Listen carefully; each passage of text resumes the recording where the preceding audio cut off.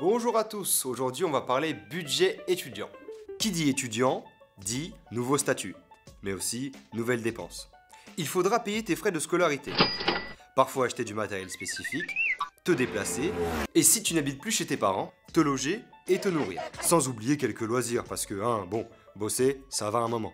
Pour faire un choix qui n'explose pas ton budget, mieux vaut anticiper. Les frais de scolarité ou frais d'inscription sont très variables d'un établissement à un autre. Ça va de la gratuité pour les BTS et les prépas à plusieurs milliers d'euros par an pour certaines écoles post-bac. Pense aussi aux frais annexes. Souscription au bureau des étudiants, photocopie, week-end d'intégration. Côté transport maintenant. Selon les villes, ça varie beaucoup. Alors autant se renseigner avant de choisir. Et certains campus sont si grands qu'il peut y avoir plusieurs stations de métro ou de tram entre différents sites. À tout cela s'ajoute ton forfait téléphone, internet, tes loisirs, etc. Bref, si tu es raisonnable, ça représente entre 200 et 300 euros par mois. Si tu es fashion addict, ça va compliquer un peu les choses. Si la formation de ton choix est trop loin pour rester dans ta chambre, alors il faudra que tu trouves un logement étudiant.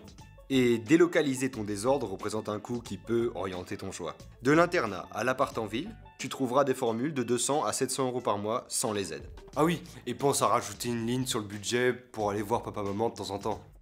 Ah oui, j'allais oublier, les repas. Il faut compter un peu plus de 3 euros pour un repas au resto universitaire.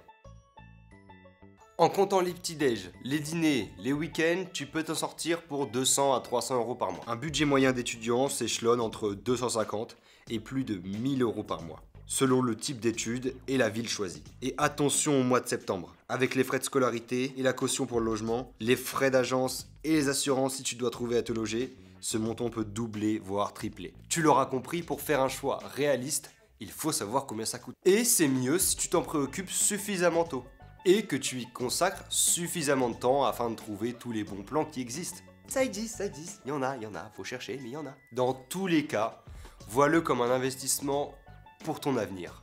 Et crois-moi, ça vaut le coup. Allez, ciao